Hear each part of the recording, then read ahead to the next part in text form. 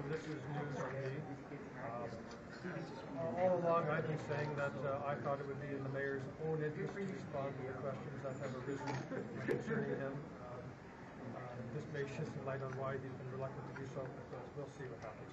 Police say that they are in possession of a video where Mayor Ford is in it. They say that the descriptions in the press are accurate of that video.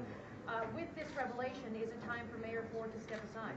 Oh, I'm not going to get into that sort of, that sort of discussion. It's too fresh uh, for me to, to make any sort of comment of, of any nature, other than this is obviously serious business that requires close attention. We would, we would all do well to take a deep breath, uh, take into account exactly what was in hand, and uh, uh, not take any further steps.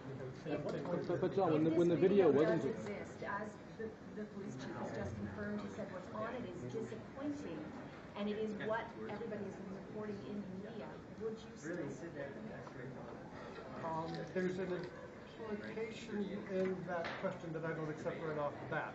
Um, it's uh, a matter now for, I would think, the mayor to respond to the allegations that are appear to be a matter of record from everything I'm hearing, uh, and then we see what we do um, in the aftermath of that. But frankly, it's all too fresh for me to make any sort of comment right now. I just came out of the committee meeting. Do we But need John, to when hear there- from Mayor Ford?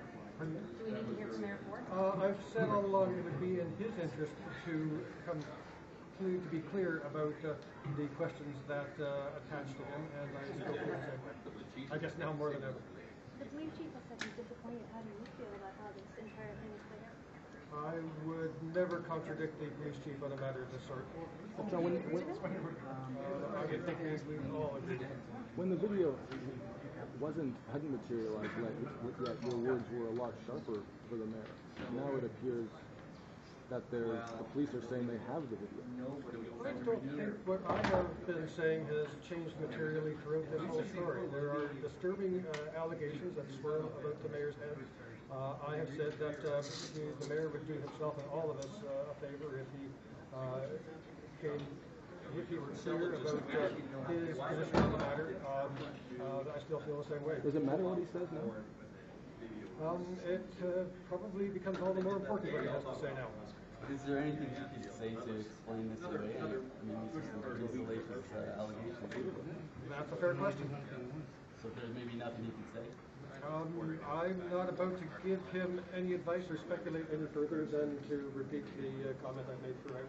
Can Um, a politician survive a scandal like well, I guess we're going to find out. But are you, are you comfortable with him sitting here until he addresses his fears? We, I'll feel a lot better if the mayor were cleared on all of these issues. Does he need to talk to, talk to the press today?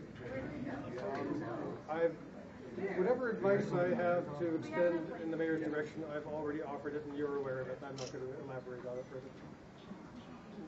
And that's Councillor John Parker speaking to us uh, live, uh, one of several councillors